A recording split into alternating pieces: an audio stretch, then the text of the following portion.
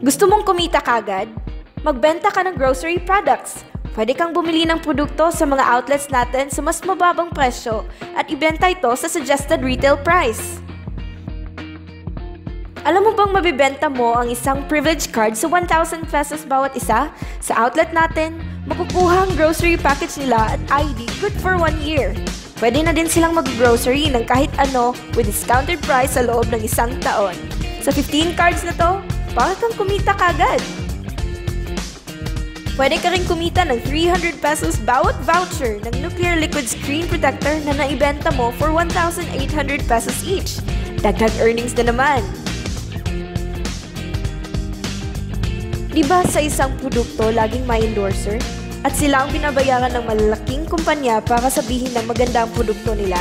Sabi ng Planet Mobile, bakit hindi na lang tayong babayaran nila sa pag-endorse ng kanilang produkto? Pag 9888 account holder ka, pwede kang kumita ng 1,500 pesos bukas kagad sa bawat tao na mapasign up mo. For example, pag may walo kang napasign up, may 12,000 kang bonus bukas. Pag 4888 account holder ka, pwede kang kumita ng 1,000 pesos bukas sa bawat tao na mapasign up mo sa negosyo. Hanap ka lang ng taong mag-grocery. Ang dali lang, di ba? Pag may mga tao kang napasign up sa A side at B side mo at nag-match, kikita ka na naman ng matching bonus na 1,000 pesos pag 9888 account ka o 500 pesos bonus pag 4888 account ka.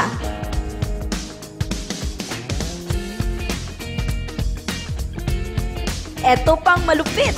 1 point equals 1 peso. Pag bumili ang grupo mo ng groceries, pati na rin ang mga tao na sign up nila to 5th level, kikita ka ng cash points. Hindi na ikaw ang bumili niyan. Imagine, may points bawat klase ng produkto at marami tayong products. Gusto mo bang maging satellite ng Planet Mobile kung saan ikaw ang hahanapin nila para sa produkto at pag-sign up? Pwede kang maging stockholder na kikita ka ng mas malaking bonuses.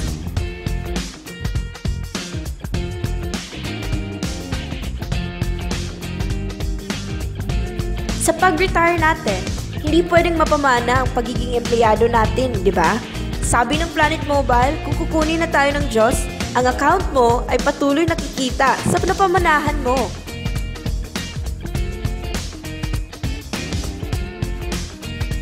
Ang daming social networking sites, di ba? Share mo lang ang business sa mga taong kilala mo. Basta't nag-grocery lang sila.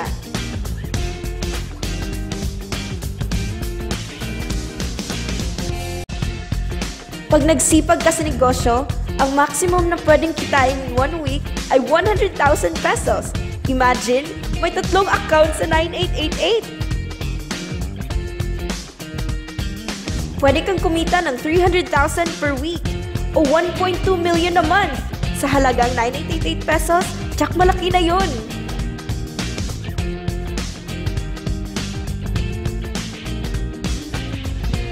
Hindi lang to sa Pilipinas kasi pwede mo ring ipasali ang mga OFW at kahit mga foreigner sa business natin.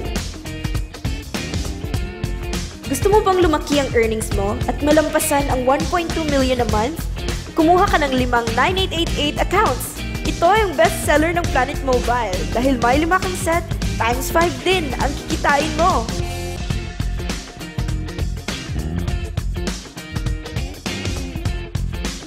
Huwag mong isipin na pyramiding to. Dahil sa pyramiding, walang produkto, hindi registered legally, at walang office.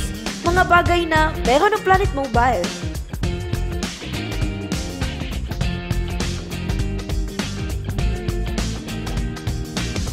Ba talaga pag ang produkto na ang bida? Trabahuin mo lang ang negosyo at tsak makuha mo ang resulta tulad nila.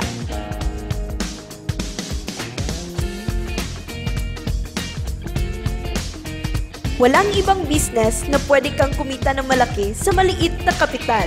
Dito lang yan sa Planet Mobile. Walang solusyon sa problema pag di tayo kumilos. Decide now!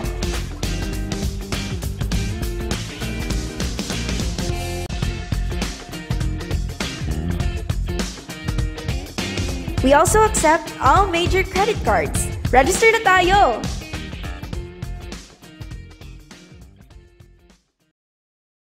Created using Powtoon.